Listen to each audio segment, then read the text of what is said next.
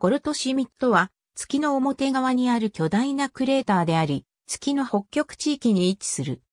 1861年に英国王立天文学会金賞を受賞したドイツのアマチュア天文家ヘルマン・ゴルトシュミットにちなんで名付けられた。ゴルトシュミットの西側の周壁上にはアナクサゴラスが位置しており、ゴルトシュミットの西側の周壁を完全に破壊している。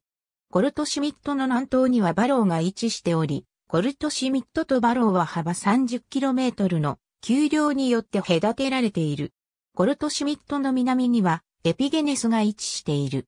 ゴルトシュミットはその大きさから壁平原と呼ばれる。ゴルトシュミットの周壁は隕石の衝突などによって激しく風化しており、周壁の内部には小さなクレーターが散在している。